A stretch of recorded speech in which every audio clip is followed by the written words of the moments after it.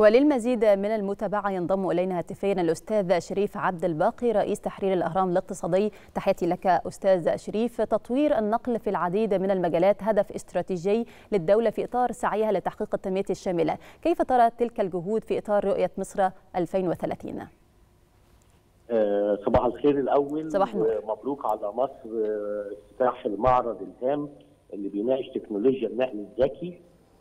بعد التوسعات الهائلة والتنمية الغير مسبوقة في مصر من حيث مساحات الاستصلاح الأراضي والمدن الجديدة وعاصمة إدارية جديدة وتطوير المدن القديمة واستحداث شبكات طرق وشبكات مواصلات جديدة كل دوت بياخدنا إن عشان نقدر المنظومة دي يتم إدارتها بكفاءة عالية زي الفكر اللي عملها مطلوب منظومة نقل ذكي.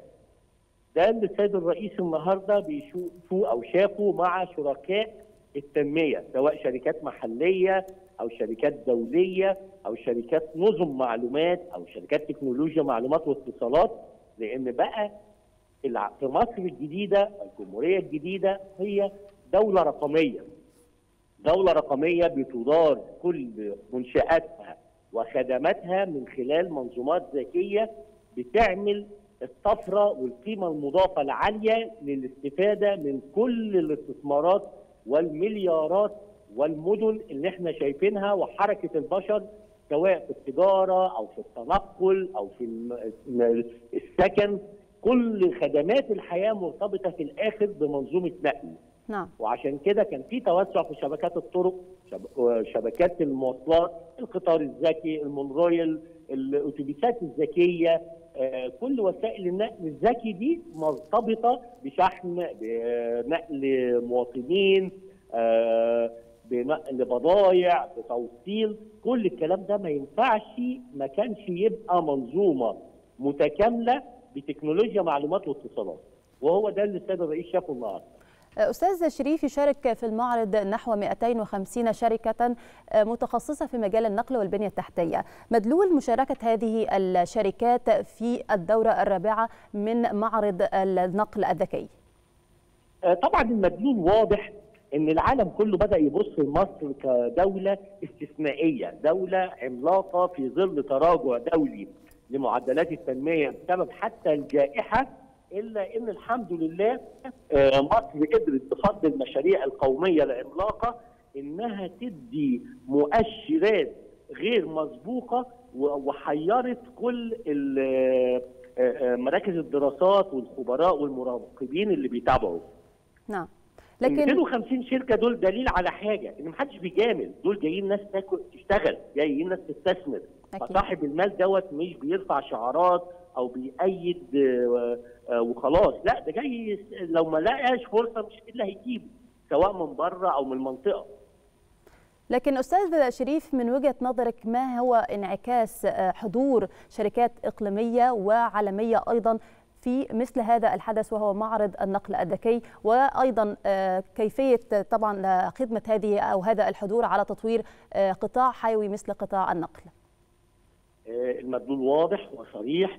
الشركات الإقليمية والعالمية تبحث عن موضع قدم فيما يتم في مصر من مشروعات عملاقة إحنا السياسة كانت واضحة. تنمية تنمية تنمية. الدواء المر تم اتخاذ قرار بيه إن ما فيش مسكنات لكن في حلول تحل المشاكل من جذورها. في تكدس سكاني يبقى في مدن جديدة.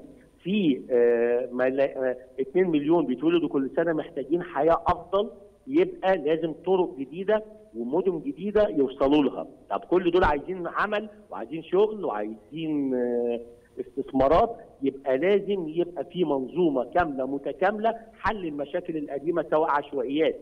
بننقل للصحراء. طب هيوصلوا إزاي؟ هيعيشوا إزاي؟ هيشتغلوا إزاي؟ لازم منظومة. العالم كله اللي هي الشركات والاستثمارات دي ما بتجاملش دي بتحسب حساباتها بالجنيه والقرش عندها مراكز دراسات عندها أرقام عندها إحصائيات عندها استنتاجات. كل ده بيجي مصر عشان يقول أنا جاهز لخدمه خطط التنمية وما تشهده مصر من طفرة غير مسبوقة في مجالات البنية التحتية والأساسية في كل المجالات تكنولوجيا في النقل في الزراعة في الشمول المالي في المنظومات الأمنية والأمن السيبراني حتى في التعليم. كل دوت موجود في مركز مصر للمعارض الرئيس شافه وبننقل للعالم وبنقول للعالم آه أدي الكل جاي لنا الكل جاي يشتغل معانا الكل عايز يبقى له مكان في مصر. اللي بينجح في مصر بينجح في أفريقيا اللي بينجح في مصر بينجح في منطقة الشرق الأوسط. عندنا إمكانية للشراكة الإيجابية آه اللي ليها عائدات يقدر يقاس عليها آه بعد جائحة بعد أزمات مالية بيشهدها العالم كله. إحنا بنقول في مصر إحنا عندنا قصة ثانية إحنا عندنا الحالة المصرية عندنا قيادة واعية عندنا قيادة خدت الخطوات الجدية في سبيل تنميه بلدها. نعم. عندنا شعب مؤيد وعارف إيه اللي بيحصل وكل يوم بنأكد للرد على أي افتراءات ولا أي كلام. لا العالم كله هو اللي جاي لنا العالم كله اللي بيسعى إلينا العالم كله عايز يشتغل معانا. دي شهادة دولية ما فيهاش أي نوع من المجاملة. بالتأكيد أستاذ شريف.